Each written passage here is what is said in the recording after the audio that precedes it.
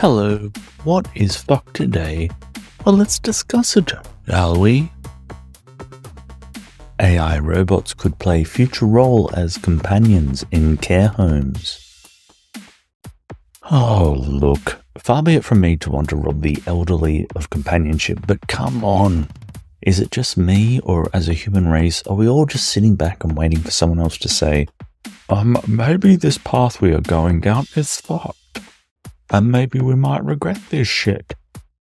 Humans are fucked, honestly. As a species, we have no consideration abilities when it comes to technology beyond if we can, then we should.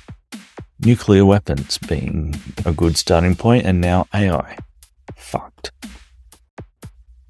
In Gaza, they're keeping streets clean by putting nappies on horses, or diapers if you're an American.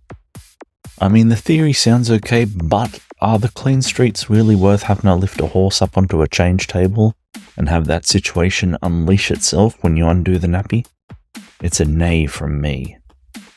And South Korea has changed its method of counting age, meaning everyone born in South Korea just became a year younger.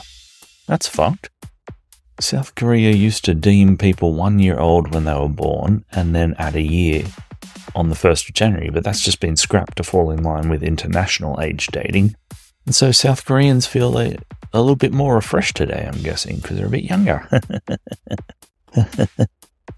Shame about the people who had just reached drinking age and now have to stay off the piss. And in sport, some teams won and some teams lost. Good night. This is an Angry Chimp podcast. Wow.